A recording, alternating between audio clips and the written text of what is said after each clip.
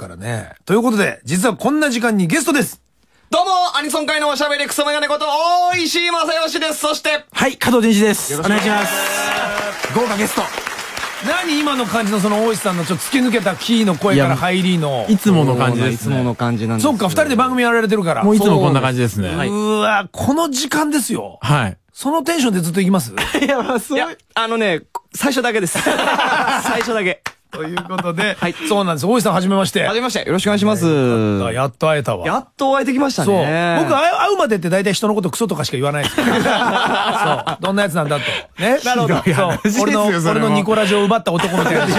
やめてくだそうさいよ。いう立ち位置でしたよね。思ってなかったんですけど、はいめちゃくちゃ素敵な方じゃないですか。いやいやいやいや、本当にね。結局だから僕も大石さんも被害者ってことですよね。なんで、僕は全然被害者だと思ってないいや、です。この加藤純一にけなされ、怪我され、いやいや開幕早々ひどいですね。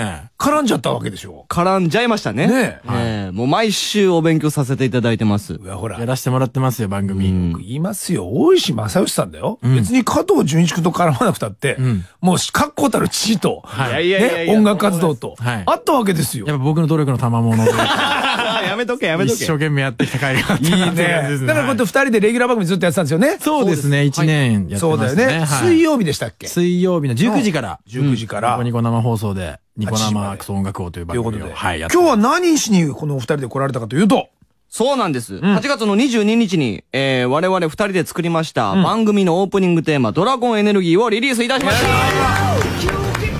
来た来たほら見て。これですよ。これ先週かけて俺も、はい。ありがとうございます。すごかったんですよ。そうです。あれ？これ、純ちゃん歌ってねえじゃん。だ かあ、さすが山田さん気づきました。ましたね。ら俺コラボでもなんでもないと思って。一応、大石加藤ですいや、全然だよ。これ大石さんしか歌ってないもん。ここ、山田さん。ほら。これ歌じゃねえもん。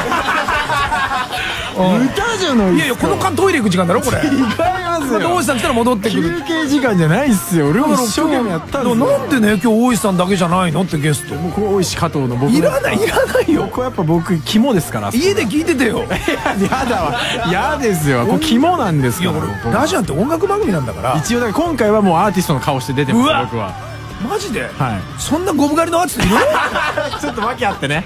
切っちゃいました。い何？飲酒運転か？や違います。タイムリーズなんかテンポが速いなんか情報量が情報量が速い。開幕早々。絶対そうだろ。何かしてなかったらそんな反省しないだろですよ。もう髪の毛いらないなと思って。あ分かった分かった。なんすか？後半この後聞くけど、はい。番組終わるらしいから。あ不祥事によって終わるんだな。違います全然言えてない内容で。円満退社です本当僕。ここで聞かないと、多分番組内で言えないかもしれないから、言った方がいいぞ。いろいろ山田さんに聞いてもらおうよ。まあだってあの人気番組が大石さんがやってて突然終わるわけないんだからなんか俺は責められてますね。なんかやったな。絶対僕のせいじゃないですよ。大体ファンとやっちゃうとかそうやって 違う。しかもえぐなんか内容生々しいいっぱいわ聞いてるぞこの世界に。新人のバンドマンじゃないですか。絶対違います違う。違う違いますよ。おかしいね。でもあれだから多分誠実に。10月からは大石さんの違う番組が始まるいやそれそれはね、まだ聞いてない。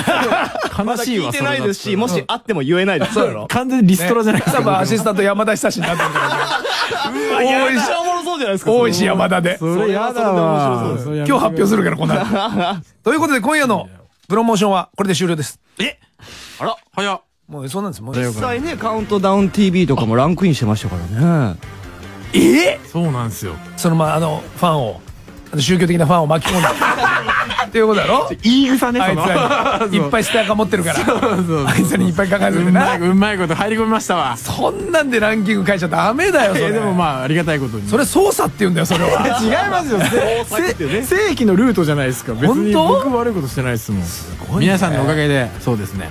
大石さんいいんですか？この音楽活動の今後の、まあ、要は黒歴史にはならないんいや、もうならないですよ。もう立派なもう、石本当？碑を立てました、石碑を。すごいね、は数々作品手がけてる方の中のこれをさ一緒にコラボるってさ、一生消えないんだよこれ まあそうですね。ね僕は一生言い続けますよ。これ若気の至りのタトゥーみたいなもんだからねこれ。大変なんだぜ。僕タトゥーですか？いやこれ消えないぜ。清原大変なんだからほら。まあまあね消す一度ね。これいやなんとかしてほしい。だからちょっと僕らも応援しますこの曲に関しては。本当ですか？だって曲はむっちゃくちゃかっこいいもん。えそう山田さん確かにお世辞言わないんですよ。そう。そうなんだ山田さんお世辞本当言わない。出だしから本当かっこよくてあとはだからその大石さんのこの歌声。はい。そうもう僕ら世代にはねちょっとねチューブも彷彿とさせるような。ああ嬉しすげえ爽やかなねこの伸び上がった感じ。だかありがとうございら正直純ちゃんいらない。いやいやいやあのーそこは嘘でもさいやいや。俺をあげてくださいよ。あのラップまあ頑張ったなって思ますあれのないバージョンをもう一個入れてほしい。もう大石じゃないですか。大石のドラゴンエネルギーじゃないですか。それ欲しかったなもう。それは。あの部分やっぱねジェラシー感じんだね。え？いや俺でもできんじゃんみたいになっちゃうから。まあまあそこがねよそうなんだよね。なんでこれ大石山田で CD 作らせてもらえなかったかっていうのを今日はね。その辺も。あそこの純ちゃんのあの滑舌もっと俺のがいいなと思 うそのライバル意識ガチガチのあれですね